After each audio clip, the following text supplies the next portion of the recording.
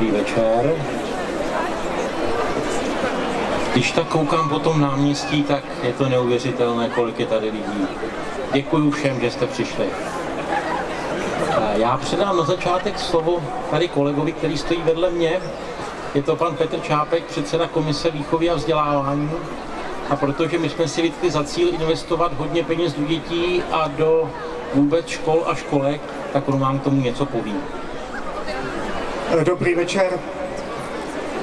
Musím říct si, milí rodimáci, když vidím to množství krásných dětí, i ty, co zpívali předtím a tančili, a očekáváme vystoupení těchto dalších, tak vidím tu nádheru, která nás jednou čeká v tomto městě. V těch dětech to je ta budoucnost nejenom tohoto města, ale celé naší země. A kež se doopravdy neustále z těch jejich očí září ta radost, která je na nich dnes vidět. A přeji vám všem, abyste s těmi dětmi prožili krásné adventní dny a pak krásný štědrý večer kolem rodinného stolu a společně si doopravdy zaspívali koledy a uvědomili si ten veliký dar, který máme v dětech, kteří doopravdy obohacejí nejenom nás, ale mohou obohatit celé město a celou naši zemi. Tak já děkuju.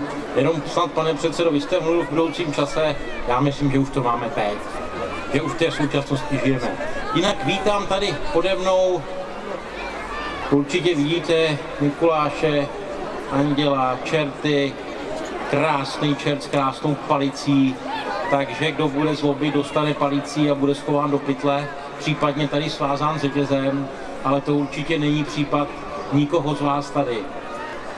Než rozsvítíme stromek a budeme odpočítávat, rád bych vám popřál krásný advent, krásné Vánoce, do nového roku hodně zdraví a štěstí a není to fráze. Věřte tomu, že zdraví je to nejcennější, co máme a největším štěstím bude, když se tady všichni zase za rok sejdeme, nebo když nás bude zase o trochu víc. Vážení chrudimáci, milí občané, vážené dámy, vážení pánové, přeji vám krásný večer a krásný advent. A teď s dovolením odpočítáme stromeček, ale já se ještě prvně zeptám, kdo se tady těší na Vánoce?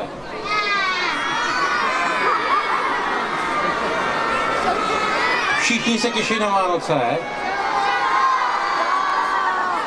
A těšíte se na dárky? To snad bylo ještě víc než na Vánoce. A jestli pak víte, až ten stromeček rozsvítíme, proč bude svítit, co ho napájí? Ví někdo?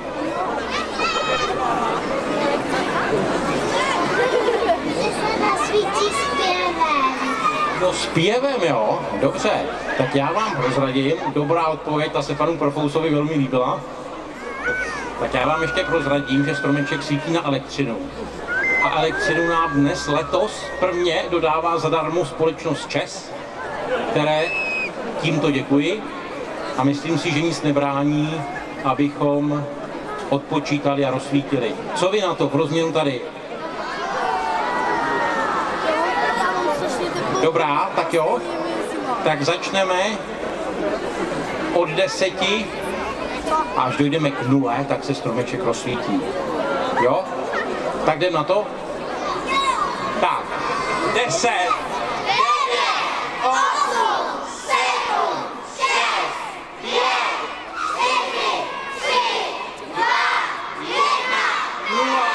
Jo, a je to tady.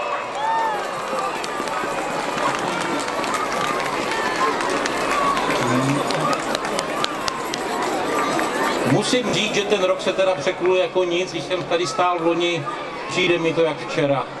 Tak doufám, že do příště to bude trošičku déle. Už nebudu zdržovat. Pojďme si užít dětí, pojďme si užít zpívání. Děkuji všem organizátorům, i co jsem tady slyšel předtím, bylo to úžasné. Pojďme pokračovat v krásném večeru. Hezký večer. A vítáme vás tady spolu s dětmi z mateřských škol a s jejich učitelkami. K tomu rozsvícenému stromu jistě patří i vánoční písně a koledy. Určitě si je s námi taky rádi zaspíváte a my se budeme spolu s vámi těšit z této chvíle. Začneme koledou, která se jmenuje Bratři, já jsem slyšel z nebe hlas. Je to o tom, jak se roznesla všude zpráva, že se Ježíšek narodil a všichni spěchali do Betléma, aby se na Ježíška podívali a vymýšleli, co by mu měli přinést.